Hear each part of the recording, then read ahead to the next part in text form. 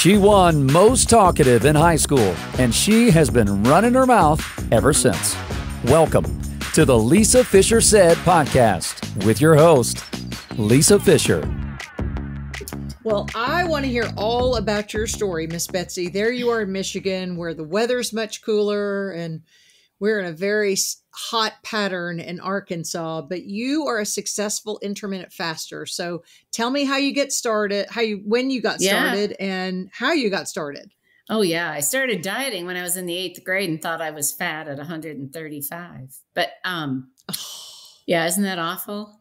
So my whole Yeah. life's been dieting, and it was um, January of 2020 that I started to uh, think about losing some weight. I um, I had I was diagnosed with COPD about eight years ago, and uh, that concerned me. And I thought, boy, if I lose a lot of weight, that's going to help a lot with my breathing. Um, it helps with a lot more than that. So, um, in fact, I don't think I even have COPD anymore. Wow. Yeah, that's the biggest uh, victory of the whole thing. So, Wow. so I lost about six pounds in Florida doing. My husband and I usually eat something called Whole 30, which is Yeah. you know, you're probably familiar with it. Um, Yeah. pretty healthy eating, and and um, you know, that's how we did it. I lost about six pounds in two months.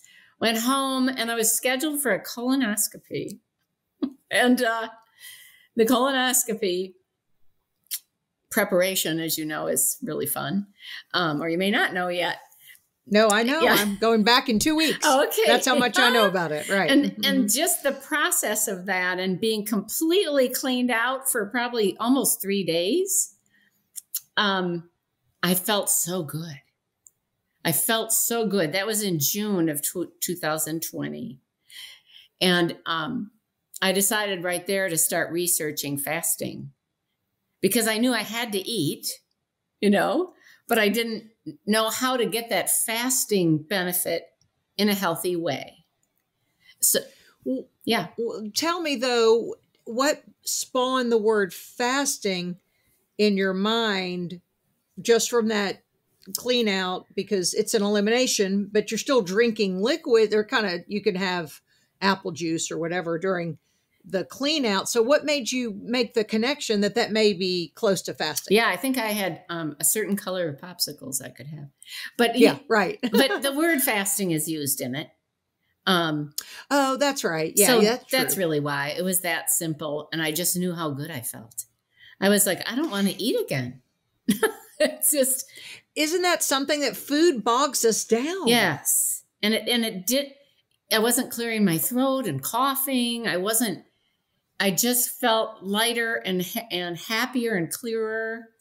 So I started to research. And the first thing I stumbled on was uh, Dr. Jason Fung um, on YouTube, which was, you know, free for the asking. They were little weird recordings because he it's just a picture of him and he talks.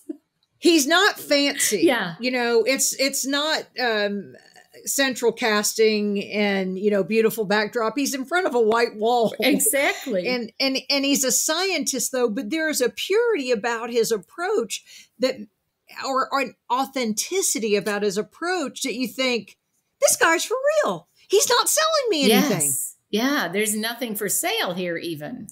Right. you know, which was my first, you know, there were so many factors, but that, uh, my husband and I both watched him. Um, my husband really didn't have a lot of weight to lose. I was at about, at that point, I was about 186. I'd been over 190 at the beginning of the year. Um, so we really started just kind of a 16 8, kind of having a brunch and a dinner. Okay. And we're always we've always been active, very active. I'm a cyclist. We do long distance touring.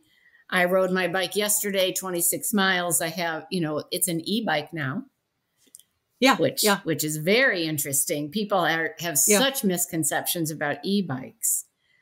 I know. I thought you just pl- I, I didn't even think you were pedaling. Yeah. But no. th- there's still there's still exercise exertion involved. Now wait a minute. Go back, Betsy. When you weighed 190 pounds, were you still very active? Yes. Yeah, I was very active. I'd tried every diet all my life. I dieted my entire life. Uh, the only time I got close to getting to 150 was with Atkins years ago. Yeah. The, the others, Weight Watchers, I used to cry. I mean, I used to literally get to the scale and cry because I was very disciplined. I mean, I if I've had one thing in my life, it's dietary discipline. and it would just break my heart. So, uh, you know, this I don't know what it, I mean. There obviously it's chemistry, it's body, it's all those things. But the the methodology of just IF, no matter what you eat, seems to have a big effect, a, a huge effect. We, you know, there are those side by side rat studies, and Dr. Fung even talks about it. People who eat the same amount of calories, and I put that in air quotes because that is a very uh, misleading measurement. Yeah. Um, of energy. But he said eating the same calories, the rats that ate them in a six hour window, and I can't remember if that's exactly it, Mhm. lost weight, even though it's the exact calories that the rats ate in yes. and they if they ate in a 12 hour window. Yes. So there is something to it.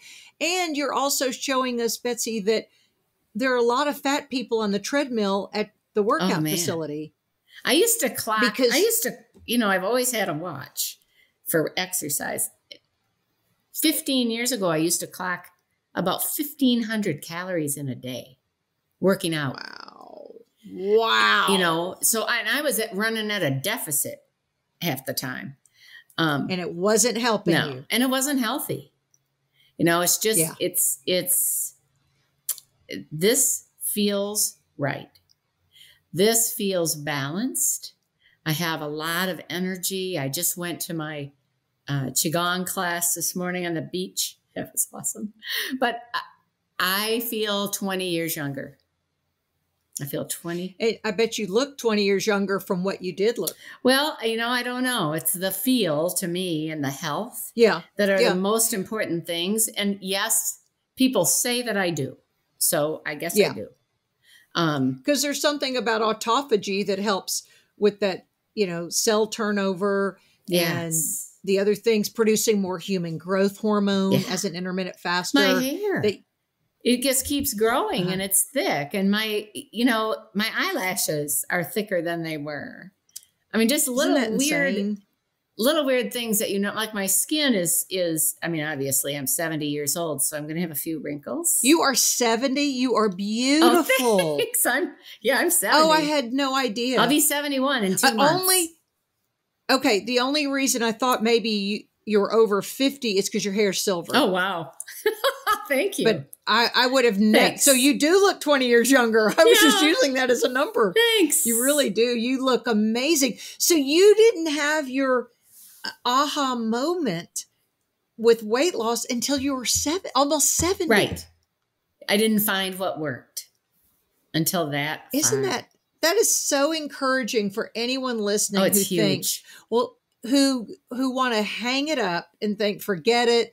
I'm too old. I'm never going to change. No, no. Oh, well, you yeah. completely changed. I mean, I I literally I cross country ski. I walk four or five miles a day. I, I'm and I do it because I love it. So there's an important thing.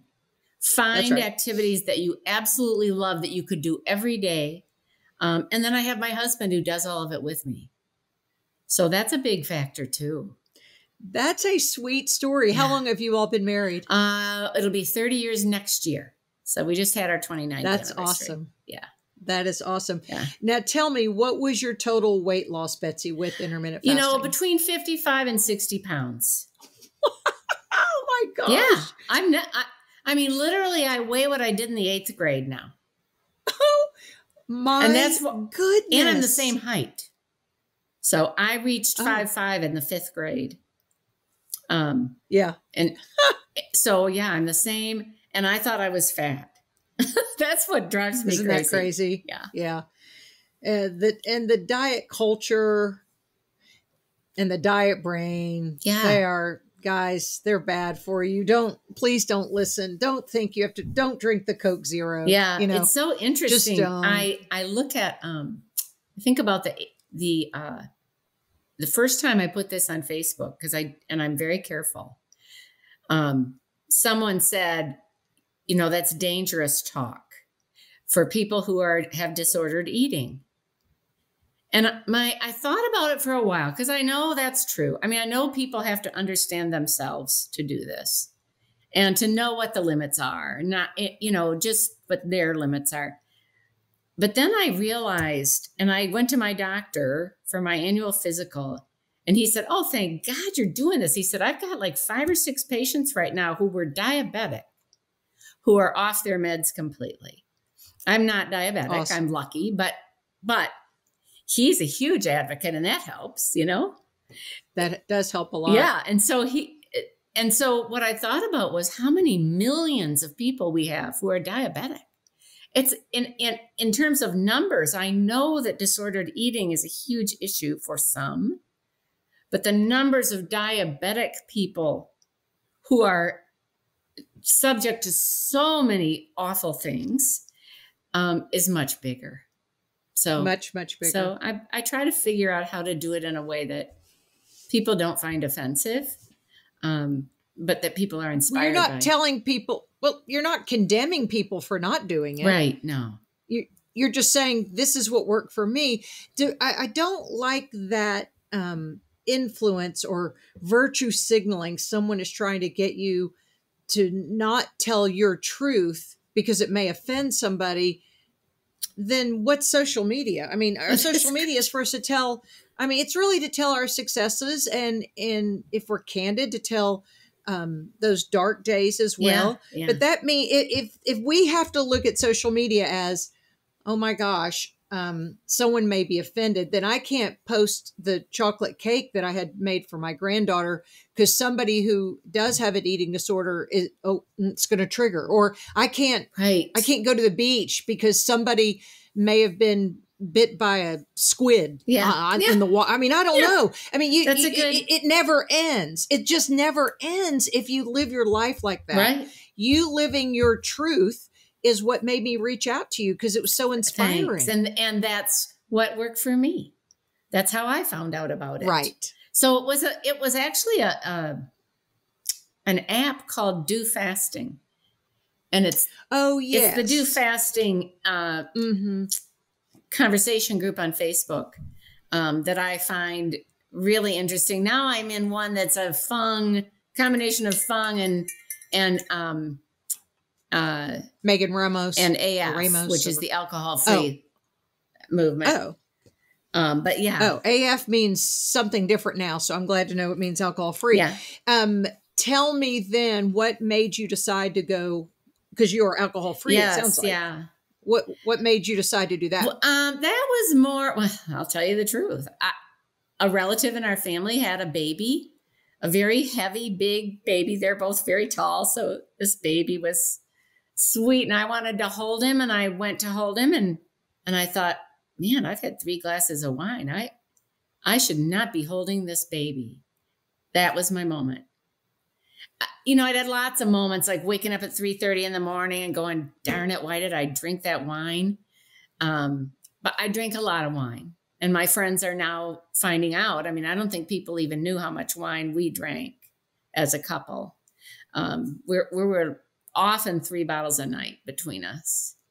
So, so now I have this, and plus the money saving thing is all for vacation. I was going to say, I mean, you guys are rich. Yeah, like no Saving lunch, no food. breakfast, right. no wine. right. That's awesome.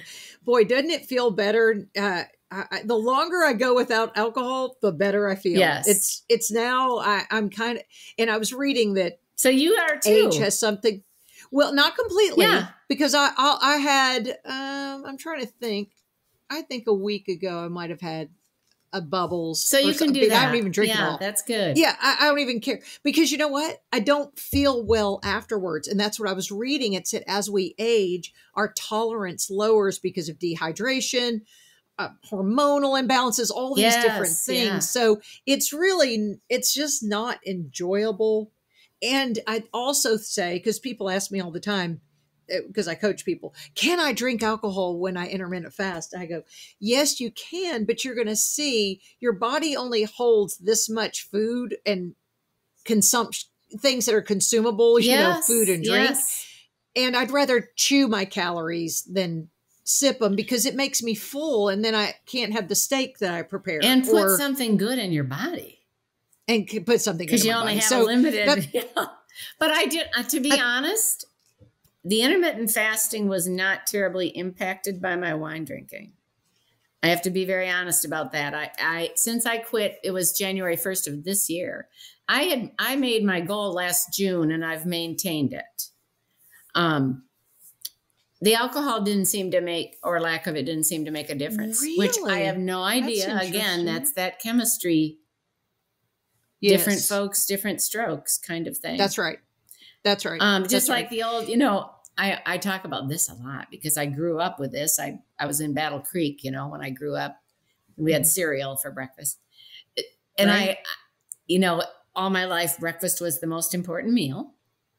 uh-huh. And um, the other thing is calories in, calories out. That's the one that used to punch me in the gut.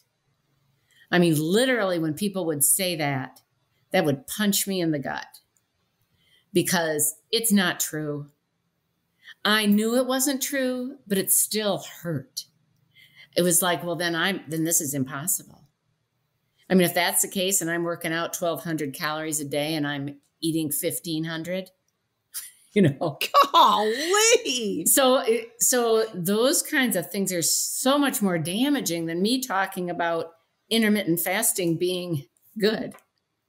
Exactly. You know, and you and you know betsy it's all it's really offensive for a healthcare provider to patronize a patient by saying you need to eat less and move oh, more oh yeah, oh god, Because- horrible. if if it were math we'd all be our fifth seventh grade weight Right. or whatever our Right. ninth grade weight was because we all can do the math because the back of the box that has the calories that because we were that is also promoting processed foods Mhm. because processed foods have calories because the steak you get and the chicken that you buy at the grocery store and the vegetables don't have a calorie count. Yeah, that's interesting. They don't. And so, and and Dr. Fung is kind of, and Dr. Bikman, who wrote Why We Get Sick, kind of, they both kind of reference that that it's really the processed food industry that has promoted a calories in, calories out, because then you have to buy their box of granola bars to see how much it interesting. I but never thought about that. yeah.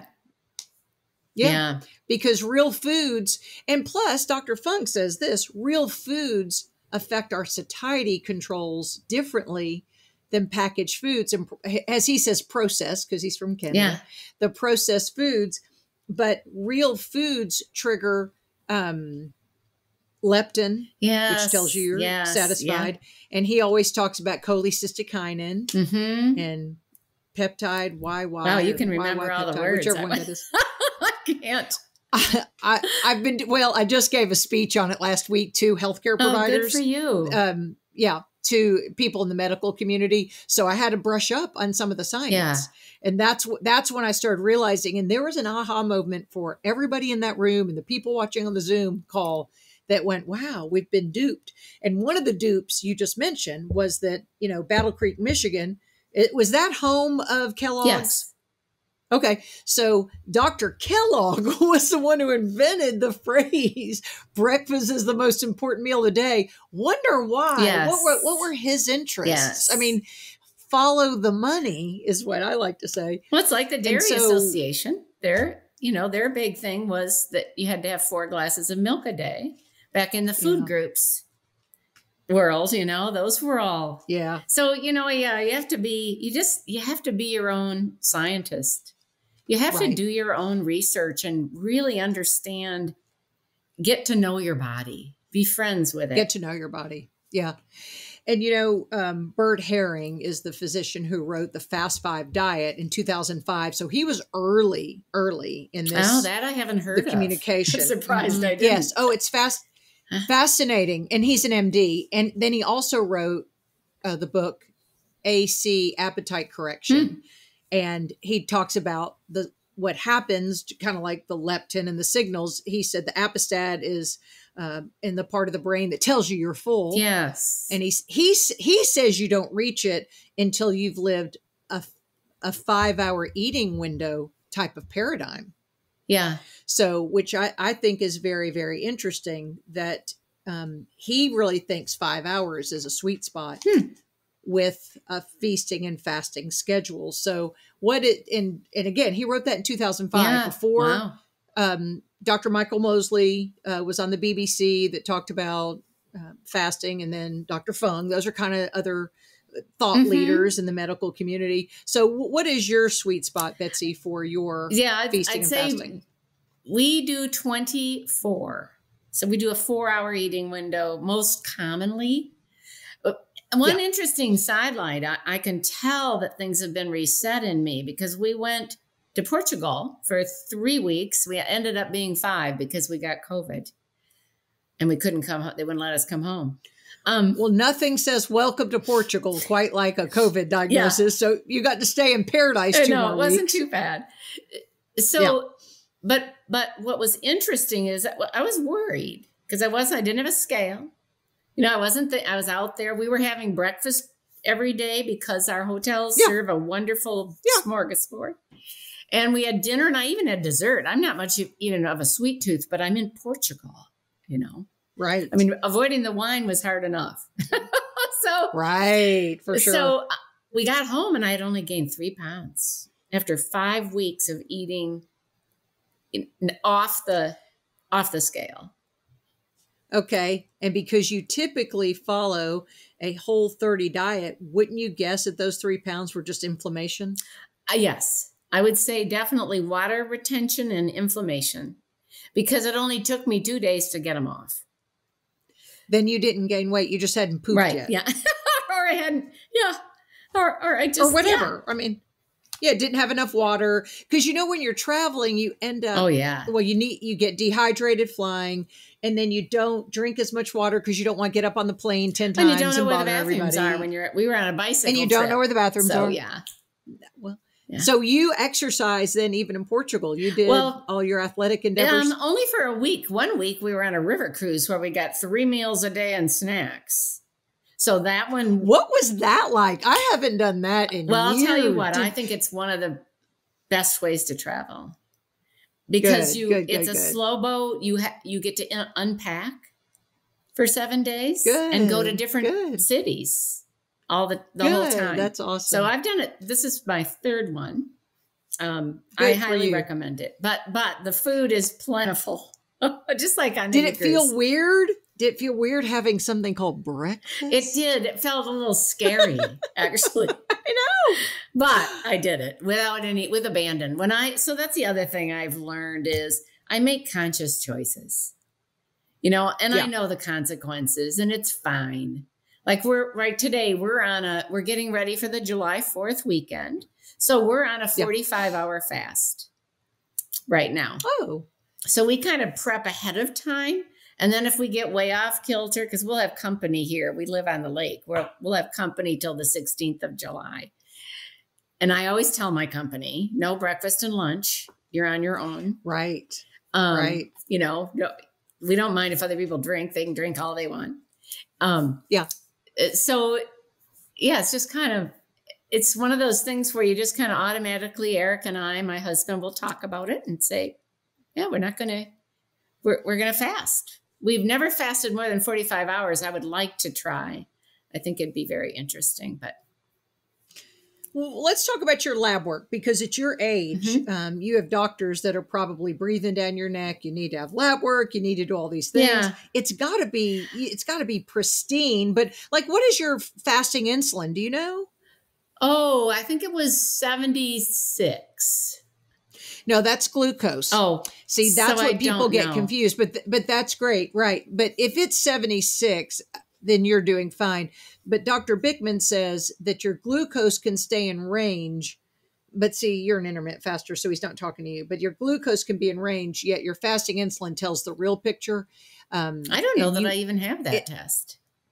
you may not, and when you do, you're going to blow them away because yours is going to be like mine is so low. My healthcare provider's never seen it that low. Oh, low. wow. um, but she's not worried about it because I, I mean, I, I, I do about 20 and four Yeah. and then I, I'm metabolically flexible. So on weekends, sometimes I do eat two meals if we're, we've got people here. I mean, Yeah. God, you know, it changes. And then I have a 24 hour fast, all those things like everybody else. Um, but with that, fasting insulin is a real predictor, he says, of metabolic health and Oh, uh, I'll ask know, for that 88% next of the population.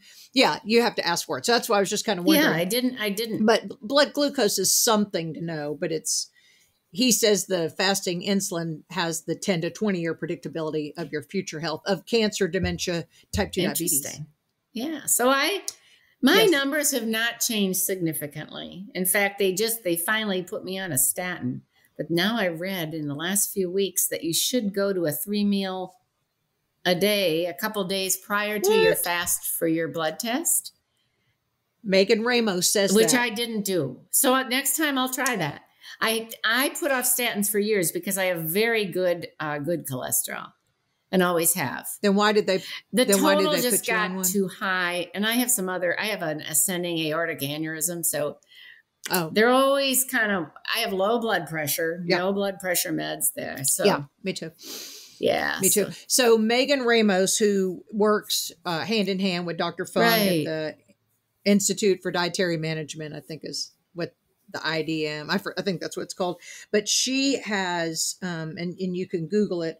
Her plan. She says before she goes for the best cholesterol reading, only do 14 hour fasts. Mhm. That's the longest. And she goes, and then when you eat, eat a high ketogenic diet for three days. High good fat. So Oh, okay. avocados, cream, yeah, steak, I can do that. cheese. If, if you're not dairy intolerant, cheese, right? Yeah. Those things. Um, she says do that for three days. And she tweaked and tweaked and tweaked. And that's how she came to this conclusion. Said, and sure enough, people, everyone who's done that will say, gosh, it, it turned around my cholesterol numbers and everybody backed off. You, you Which- do because yours has a little bit more to do with your anatomy, you know, your heart and aortas and stuff Yeah. like that. That, that may trump anything we're talking about, but well, there's genetics it's a, too a start. that I think are at play, Yes. But you know, And a reminder this is not medical advice. My attorney wanted me to tell you. Okay. I have to do that. oh, that's good. And same with me. Yeah. I just, that's right. And truly anything we're talking about, it's, and that, that's what I was going to say earlier. One thing, uh, uh, the man who wrote Appetite Correction, Dr. Bert Herring says it's kind of a study of one. You know, what works for you may not work for even your own children or your twin which sister. is so important for You know, it's- people along the way It's instead of the old platitudes. You know, the old. right. So tell me about your husband's weight loss. Did he end up, did he end up losing Oh weight? yeah, yeah. He's so he's six four. He can hold a lot, and he Show he off. probably lost. I'm going to say thirty pounds, thirty five pounds. So yeah, he's um people people accuse me of starving him, but no, he's he looks great. Um, That's yeah, awesome. he wanted to get there. He's actually he gained more in in Portugal than I did. Um, so he's still working on getting some of that off, but he he's yeah, he's we're both very fit. We love to bike. We're you know. And oh, I wanted to say something That- about e-bikes just because I get this Oh, chance, yeah, you know. yeah. I Good. I have a um, a drop handlebar e-bike, so it's like my old touring Mhm. bikes. I've biked all my life Mhm. we've biked all over the world and um, i wear this apple watch and apple Mhm. it, it, it tracks my heart rate and that's really all i care about and i keep my heart rate at either aerobic or peak for about 80 minutes a day when i ride my bike Wow. so Wow. it's um there's no question and I go out no matter what. It can be very windy, it can be really hilly, it can be anything and I still get that health benefit. Um and it rides like butter. I mean it's like it makes me feel so powerful. So Okay. Sometimes some engineers going to have to explain to me, and maybe you can. Then how is it aerobic if it's an e-bike? I really thought it was like a self-driving car. Yeah, it's like a sensor thing that senses your pedaling and um and works with it. I and I don't my husband is an engineer and he he probably understands it better than I do, but I just go by my heart Yeah. rate. So That's insane. So you're still getting the workout yeah, in. plus we can ride together. He's just one motor click more than me or less than me. right. So that works great too. Because he used to have to go ahead and wait for me like every five miles because he Mhm, likes to mhm. ride. So mhm. so now we ride together. That's interesting. That's interesting. Now, did you get any? Do you have children? I do. Betsy. They're grown, Did, did- obviously. okay. Did they did they give you any pushback though in trying to pursue you know an intermittent fasting lifestyle? Because a friend of mine right now is um, sixty years old and her kids are pushing back because they're like. And she's divorced, so she doesn't have a husband who can say, "Listen, you're she's fine." But she said, "I- "I'm by myself trying to defend the fact that I'm eating one meal That's a day and I'm fine." Yes. Um, I, I my family culture is different than a lot of family cultures. Um, I'm quite sure I will never live with my kids. Um, would never want to. Love them to death. Right. And they Same. and they're programmed the same way. So so we kind of no, I, I'm way too independent. My son could never tell me. Good. Now, my daughter, who my daughter passed away in 2019 Oh, I'm so yeah of cancer Oh. and she was very into health and and fitness mountain climbing biking you name it out in colorado um and i spent the last six months of her life with her and Oh, Betsy, my goodness. yeah and i don't think this would have made her happy because we have kind of we've had a culture of disordered eating in my family that's probably why i'm familiar with it my you know my mother always Oh, I see. you know disparaged my weight and and i probably talked about food way too much so Yeah. but i yeah she um i think she's happy for me now i think she more because of the health aspect of it So she was what thirty? she was when 41 um, when she died Oh, and she she was alive for about five years after her diagnosis but very rare very aggressive Mm. cancer and a very uh, accomplished young woman who is greatly missed um, Uh, Bye. I'm sure. I, I I can't imagine the pain you've suffered, which is what's so crazy about your story, Betsy. That was in 2019, Yes. our last good year on Yeah, the planet, yeah. right? And it was a terrible year for Yeah. her, and terrible year for you because you had six months watching this human yeah Yeah. suffer. Then we went into the pandemic, which we all agree was just a crappy Yes, year, rough year. two or three for everybody. And you lost 60. How many pounds did you say Uh, total? 55 I'd say pounds? 60, but right now I'm 60 at pounds. So I, I, you know, You're fine. so yeah, so oh, I am. Let's say 60 pounds you lost after the two. Well, the death of your daughter is the worst Right, news right. any parent can get. And then collectively, as a planet, we suffered. So we felt the burdens of each other. Yet you lost 60 And I did it with joy.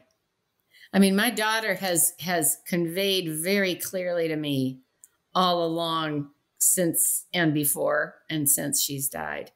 I feel it viscerally. It is something that I live for.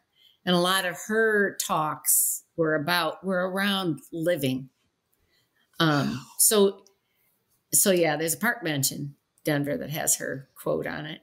Um Is that yeah, right? She's a she's what? Where is dynamic woman in Where in Denver? Park. There's a there's? Okay. her name was Alli Gerkman. If anybody happens, someone actually sat on the bench and looked up her name and contacted one of her friends to say thank you. That's beautiful. yeah. So That's so beautiful. it, it yes, Did- and I Mm. um I looked at COVID as an opportunity to get outside.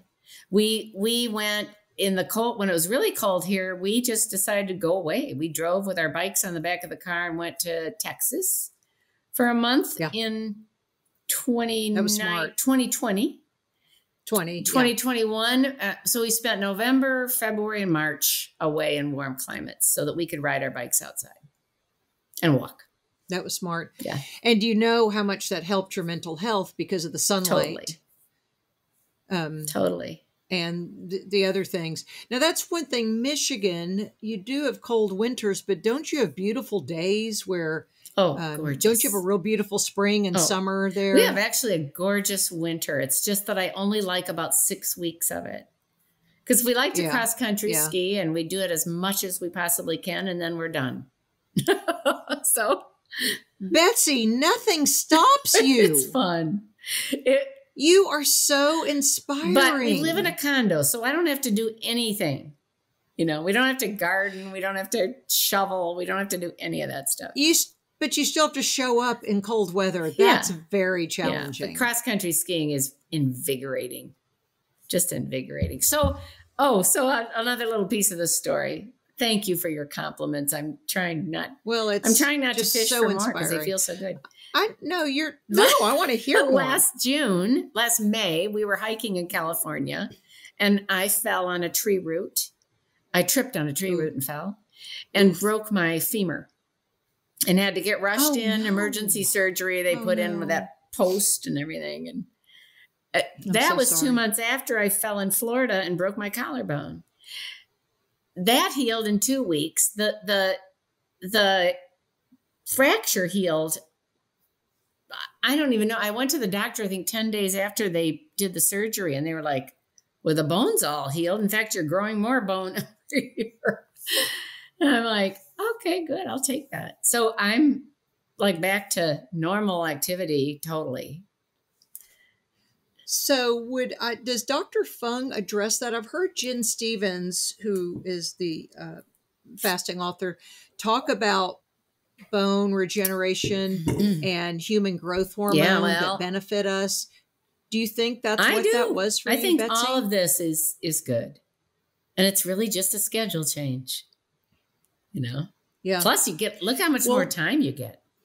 You're not like always Yeah, oh, planning sure. meals and shopping No. for food. No, no, not thinking about it. The freedom. I think that was in the beginning.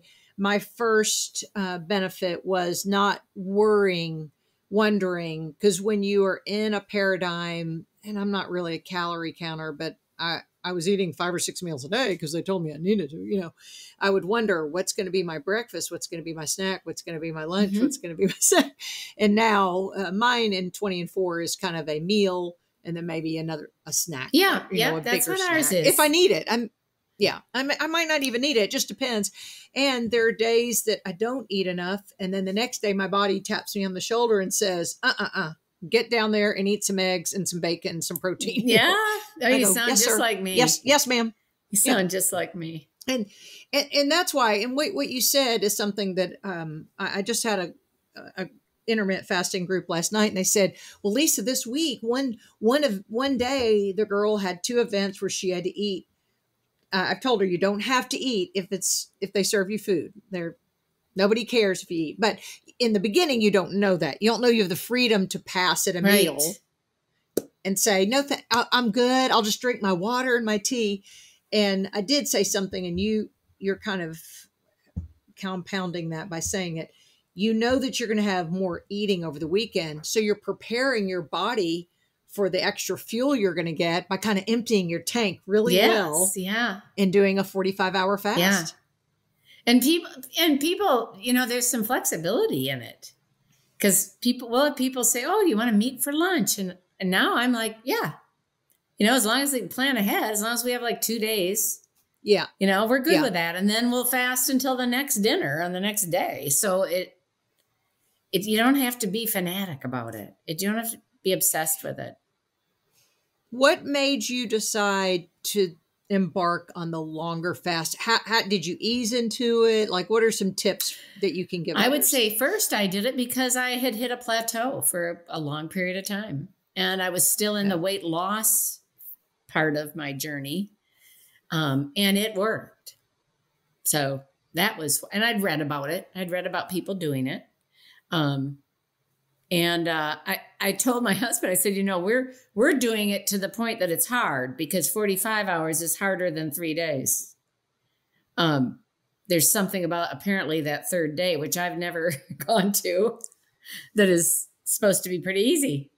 Um, but it's that not crazy? that hard if we decide. It's so the conscious mind is so fascinating to me. If we decide the day before, we're fine. We don't even like today. I'm not thinking about dinner. I'm not. It's just not going to happen. mindset mindset's everything Yeah. So it's wild. um I, I've seen people, and I've done a few 40 hour fasts, and I didn't die. I mean, you know, Right. but Mm. the hardest part I see on Fung's groups and some others is it's like hour 24 is the hardest. Mhm. And then like hour 25, it's a roller coaster ride down. Interesting. Do you feel that way? I I'm, What's your hardest hour? I am not. I think my hardest hour is the hour before I had scheduled to end. I mean, in terms of hunger. Yeah. you know, I don't, but I really, it's not been hard. That part of it is not a, it's uh, my first lesson was what is hunger? You know, that was my very first lesson in fasting was, well, am I really hungry? No, I'm just bored, or no, I just need to distract myself. And gee, I'm going to go work on my jigsaw puzzle. You know, uh, it's, it's that. Gonna drink some more water. Yeah. So some of Yeah. The, the, it, it- yeah, it's, my head's hungry, but my body really doesn't desire more, need, need nutrition. right, and or I'll go for a walk. That's my favorite Wow. distraction is to get out and exercise, listen to a book, listen to a fasting Wouldn't you book. say, Doctor? That's right. I do it all the time. Yeah. My new book I'm reading is Glucose Revolution by the Glucose Goddess. oh, interesting. And she she explains. hmm So a lot of the game we play is what our insulin does, and it's all about insulin resistance. Mhm. Um, what insulin does to, and it also goes back to the reason.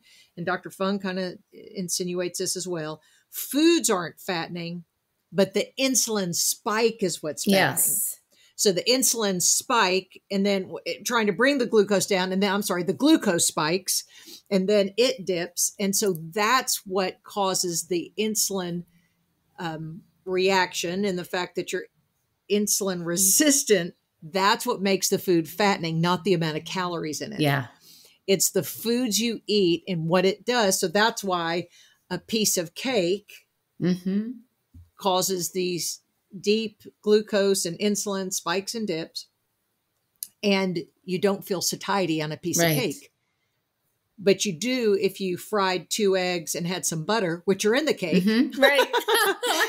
but if you pulled That's it funny. apart and you had the whole foods Yeah. from it that would provide satiety but the cake doesn't really provide satiety that's why you can eat two pieces of cake at a birthday party you don't because you don't want to embarrass yourself yeah.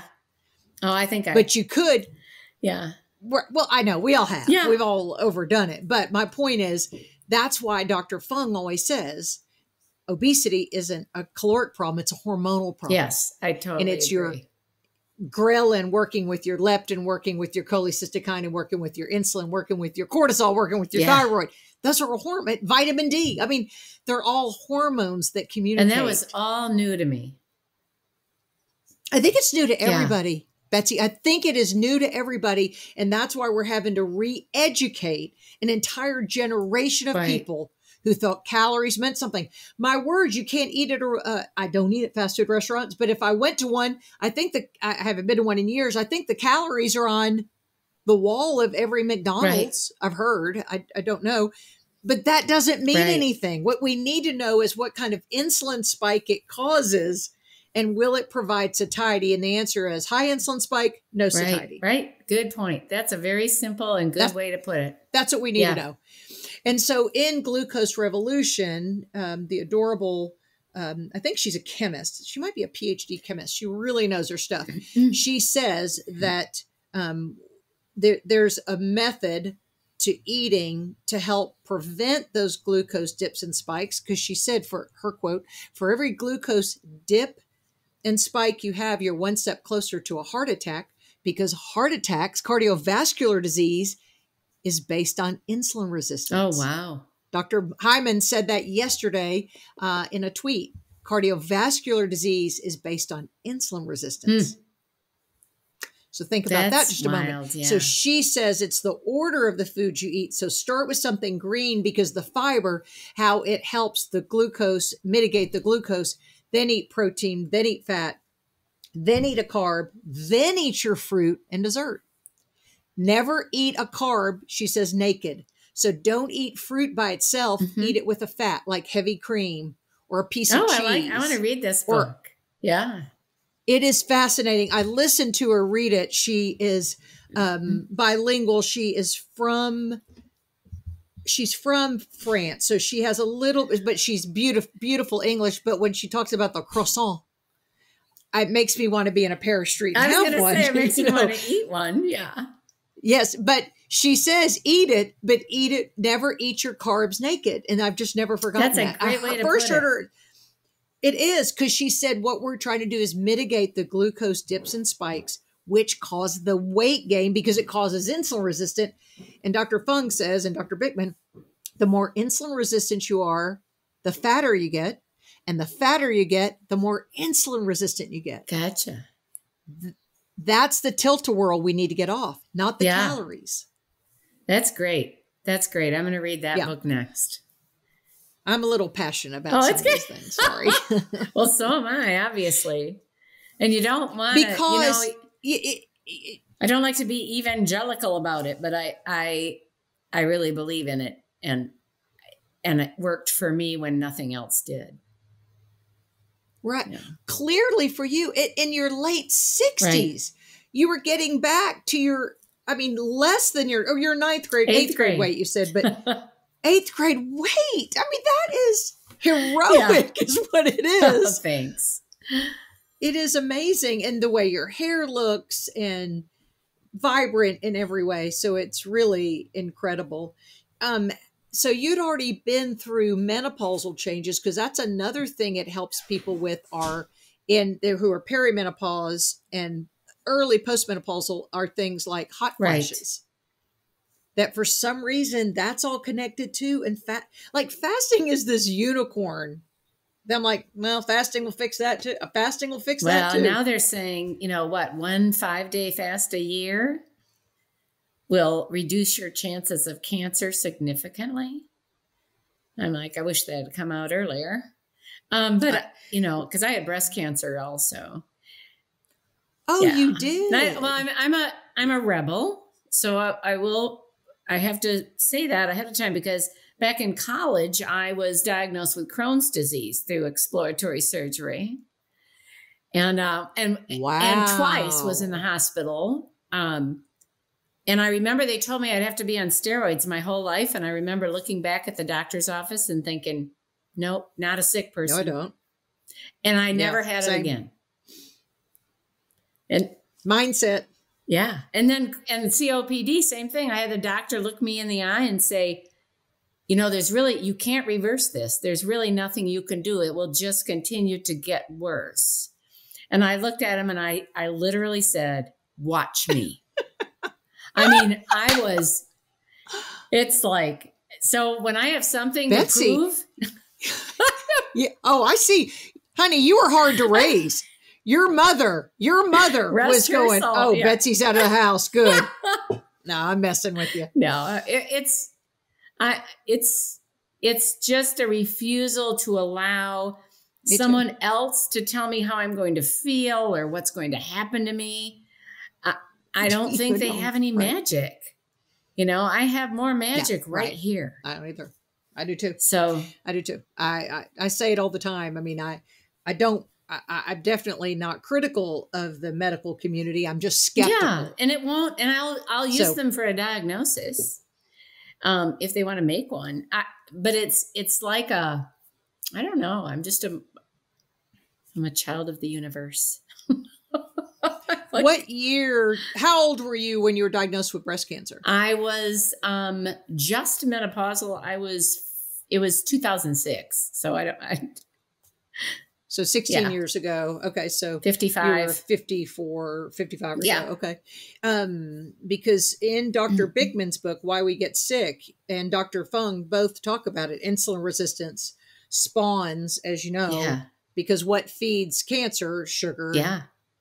insulin, and all these things. So, um, what was your treatment like? Oh, just um, I did. They had suggested I do chemo because I had some a factor called HER2/neu. Uh, mine was caught very Okay. early with a mammogram. Good. Get a mammogram, and um, those diagnostic tools are good. It, uh, and they did a lumpectomy, and then I had um, the the five day intensive radiation because I was Mhm. a busy person, and you know. Mm-hmm. so I didn't didn't want to go for six weeks. I just wanted twice a day, five days, boom. Wow. So yeah. And knocked it out. Knocked it out. Yeah. Um, okay. I'm just trying to do the math here. Yeah. That um, it's like a drive-through. You like had drive-through chemo or radiation. You were like five days. That's all. That's all the time I I'm had giving you. Which is the one that takes away all of your hormones for five Yeah. years. Um, and that didn't seem to have a big negative effect on me at all. So That's that was five years, and then I was done, and I haven't had any revisitation. So that's good. Yeah, and I I would assume because I I, I assume your fasting insulin is low. That Mhm. also you know has like I said the predictability with it in spawning cancers and type two diabetes. That's great to put high that blood out pressure there, and- yeah. Yeah, and that's all done. Um, Dr. Bikman is a metabolic researcher from Brigham Young University, Hmm. and so he and Dr. Fung work together and do a lot of uh, forums and programs and a lot of things together. The medical side, and then the um, metabolic And it research sounds like side. you have so a then, group that you convene that talks do. about these things too. Yeah, I do. Yeah, and I run my mouth a Mhm. lot. I mean, I, I'm I'm I'm a, That's you know they've paid to me to talk yeah. for a long time. That's right. That's a great That's right. thing. So I used to be on the radio, and when I was on the radio, I would hold court and go, "Okay, people, listen up. We're going to talk about fasting." Even though we were supposed to be playing the next Cyndi Lauper song, I was Oh, talking about fasting. Or it's just, and I'm a longtime journalist, so I've had the ability to put my thoughts on. I think it's wonderful and- that you do and that. post it, and and well, again, it's it's how you're saying it. If someone were to tell me good news and I didn't share it, you would look at me if you didn't know the good news and go, "Why didn't you tell me?" I that's know. that's what I don't want to have the burden of people saying, "Why didn't you tell me there was an answer for my Type um, two diabetes. PCOS Yeah. and my type 2 diabetes and all the why why didn't you share it?" And so that uh, that's how I feel obligated is I would want to know and someone did tell me. It was I've told the story. My son came home and told me about it, but he was an engineering student, you know, they're nerds who like to study Yeah. deep dive into things. And so he was doing a deep dive into what fasting does to the human body and explained it to me that way. And I went, wow, that is fascinating. And, and he's also, he was 20 years old when he told me, or 21, he was into ketogenic keto diets. That's not necessary. That's not the best fit for me. Mhm. But I did, then I could understand because every day you fast, you get into ketosis Mhm. you, you know even if you had a baked Right, potato the day before Yeah. so so i understood that and then understanding what autophagy does Yes. which you know is the big uh, cellular and I didn't know how then to pronounce it you- until you just said it. I used to Oh, call it now Dr. autophagy.